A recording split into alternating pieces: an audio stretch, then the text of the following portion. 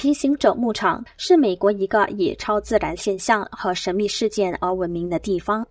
这牧场位于犹他州东北部，占地两平方公里，曾是印第安原住民的居住地。由于原住民常常看到人形怪物在牧场附近活动，它也能变成不同的动物形状，便把它们称为皮行者。也因此，印第安人认为这片土地已被诅咒，渐渐的，这地方被弃置。在三十年代，迈尔斯家族把此地变成牧场，并建了一座住宅。自此，怪事越来越多，包括目击各种大怪物、UFO、家里东西被神秘力量移动。甚至有动物离奇死亡。其后九十年代，谢尔曼一家买下牧场，虽也遇到大量牛只死亡事件，但因谢尔曼并不相信外星人等灵异事件，认为只是政府在附近搞了个秘密的研究项目。可是牧场的怪事却一传十，十传百，被发表到报章上，于是大家就把过去原住民的传说连在一起，称它为皮行者牧场。后来，热衷 UFO 的亿万富翁罗伯特·毕格罗对此牧场感兴趣，花了二十万美元买下。谢尔曼一家亦乐于脱手。毕格罗进驻牧场后，自行带上科学团队进行研究。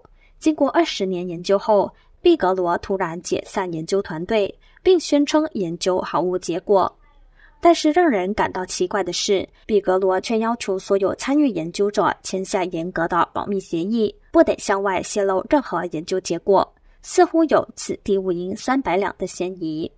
直到二零一六年，毕格罗以四百五十万美元将整个牧场卖给房地产大亨布兰登，布兰登就成了现在皮行者牧场的主人。而布兰登从小就对宇宙的奥秘以及超自然现象感到着迷。所以，他也想对这片神秘的土地查个水落石出，于是便着手组建自己的研究团队，并跟电视台合作，把专家对牧场进行一系列的检验或研究，全部拍成纪录片，那就是《皮行者牧场的秘密》。布兰登调查团队包括了艾里克，他是皮行者牧场的首席调查官和科学家。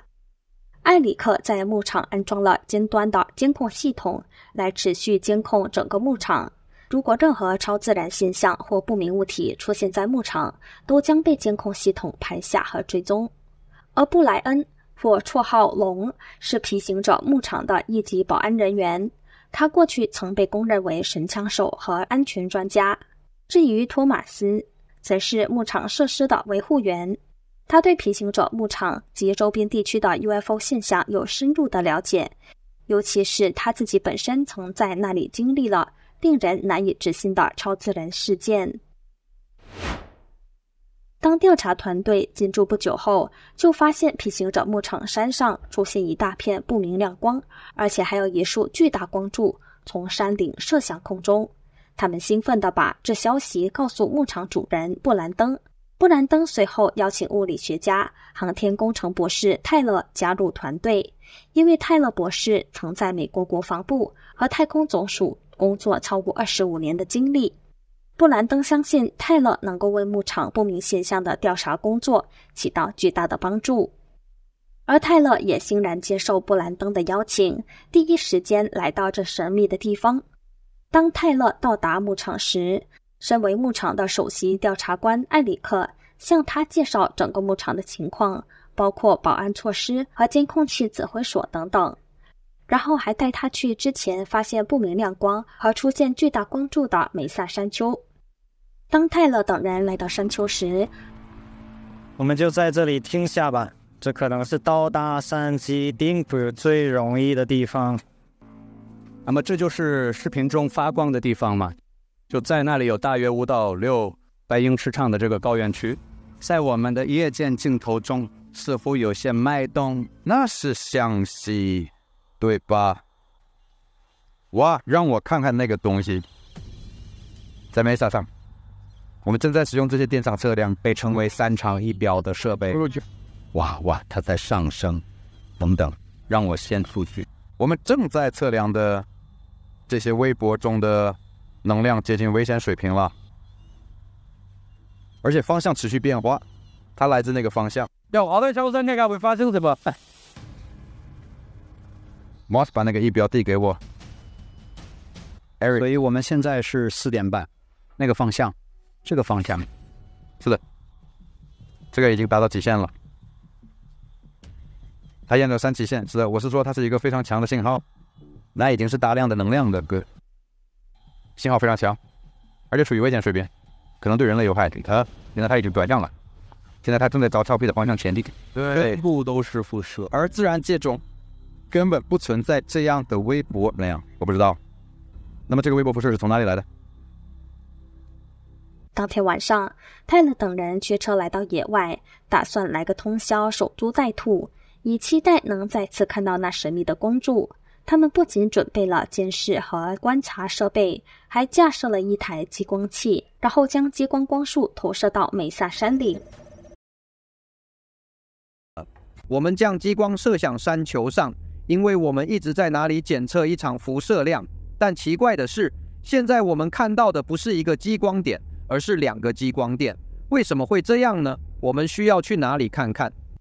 哦，我就要上去看看。你不知你有兴趣去吗？我不上了，我在这里看着监控，你们上去吧。好吧，我们去找艾利克，然后我们上去。你准备好了吗，伙计？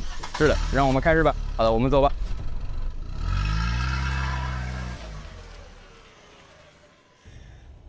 打开我的头灯。好的，我们走吧。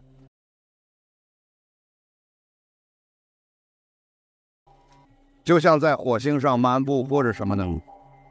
Skinwalker 岭滩基美萨的烟石含有极高量的某种晶体物质，所以我在想，是不是梅萨上出现反射，因此造成激光束的分裂成两个反射点，而不是一个。到处都是这些小白色的圆盘，我不知道这是什么。我要转过身来，就坐在这里。好的，现在我要关掉这个灯。留下。好的。激光似乎失去了强度吗？激光关闭。力量。把那个激光去哪里了？刚刚它熄灭了。会电文问他们是否正在对激光做些什么。妈，我会回去看看发生了什么。等一下，伙计们。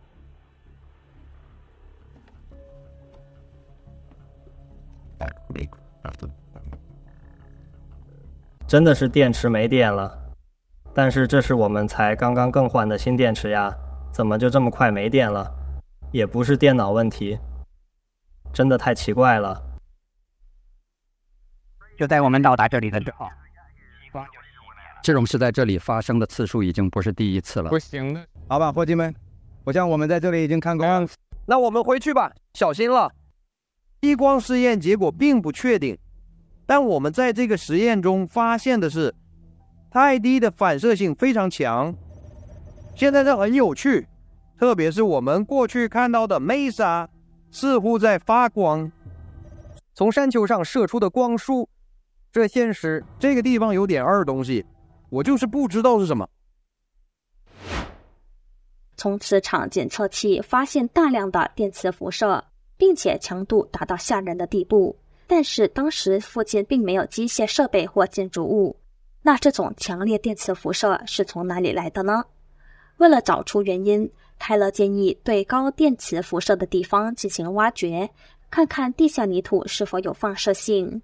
但他这挖掘建议遭到布兰登强烈反对，因为皮行者牧场流传着一个禁忌，就是不能随便对地面挖掘。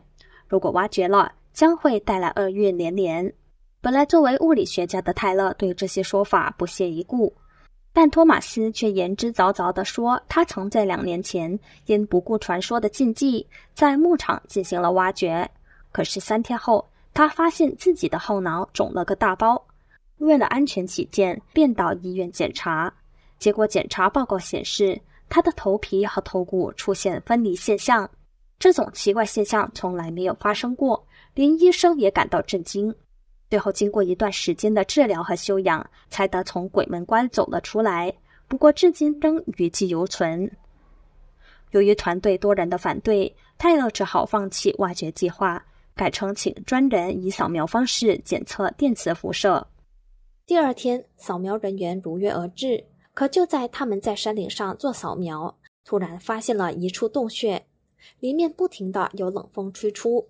检测员一度从吹出的冷风里检测到了大量的辐射，可奇怪的是，这辐射在第二次检测时又突然消失了。就在这时，泰勒发现我的手机电池刚刚没电了，你的手机电池也没电了，它关闭了。不仅如此啊，检测员也发现他的手机也不知何故自行关机。那是什么原因导致他们手机出现异常呢？所有人都感到莫名其妙。这种电子设备突然失灵，变成了薄皮行者的一大特点。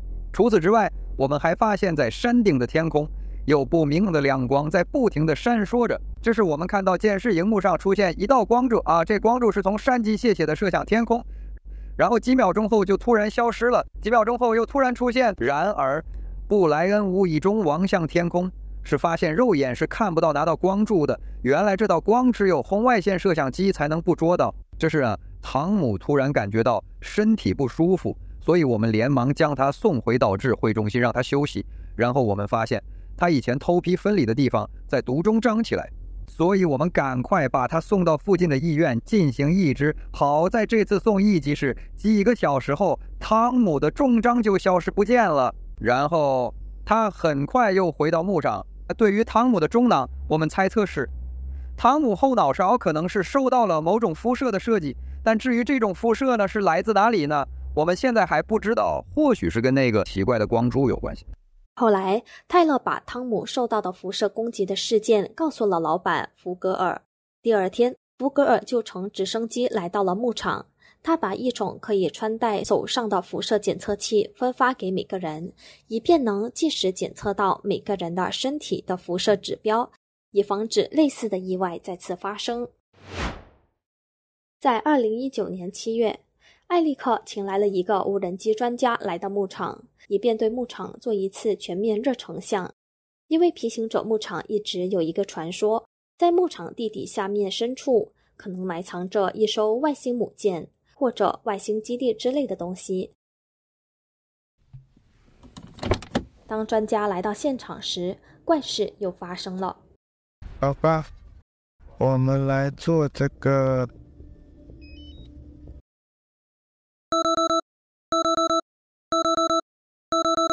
没有连接。我无法连接到远处设备，我不知道原因。哎，这很奇怪。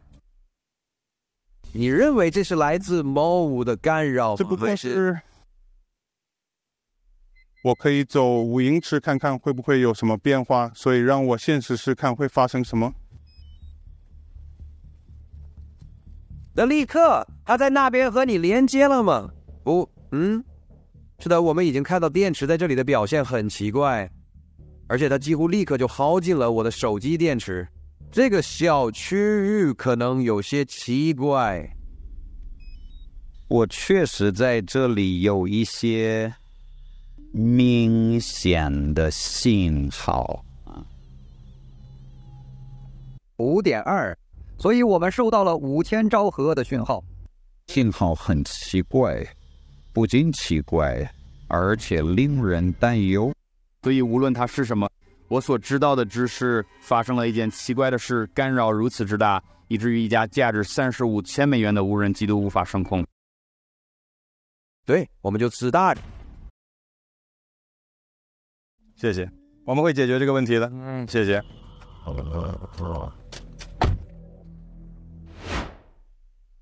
一天晚上，泰勒等人即在指挥中心给老板布兰登打个电话，告诉他前几天看到奇怪的事。是的，让我们给他打个电话，看他有什么说的。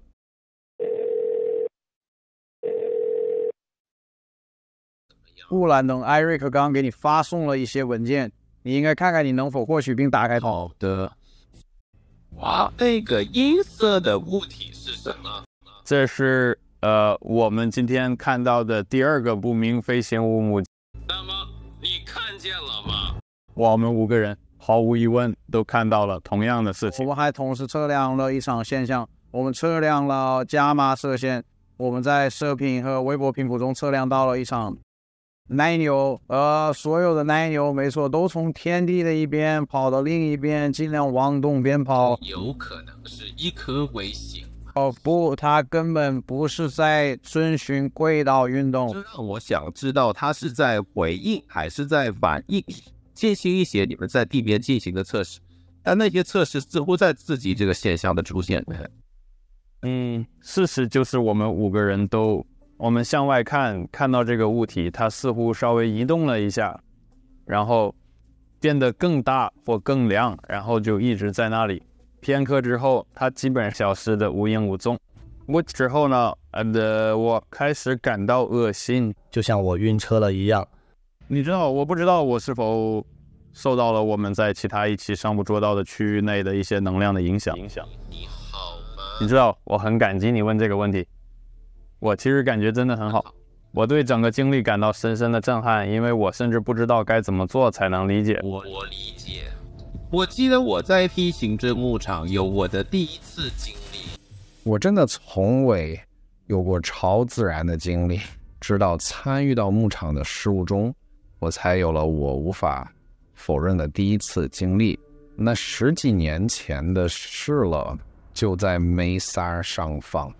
我们在白天看到了只能被描述为不明飞行物，长度约四十到五十英尺，银色、灰白色和白色的圆盘形飞行器，瞬间从一个位置转移到另一个位置，然后在。二十秒内完全消失。我没料到会有这样的。都没有预料到。整个团队啊都看到了这一情况，并且有摄像头监控录像，这改变了我们在 Skinwalker Ranch 的调查。谢谢你们，先生们，干得好，伙计们！是真的啊，你们都出去休息一下。过后，泰勒想搞清楚辐射信号来自哪里。于是他制作了三个简易定位器，里面放有信号接收器，然后把三个定位器分别安置在牧场三个不同地方，然后进行信号测量。最后，他们指向的交叉点就是辐射信号来源。结果出乎人意外，信号源竟然是在牧场上空一千七百米的位置。为了探究一千七百米这个位置有何稀奇，泰勒请了一位专家。他们把摄像机和 GPS 设备连同电磁测量仪一起绑在气球底部，让气球升到一千七百米处进行测量，同时也能从电脑里计时观测数据。最后接收到的画面显示，电磁测量仪的确检测到了大量微波辐射，甚至一度发出了刺耳警报。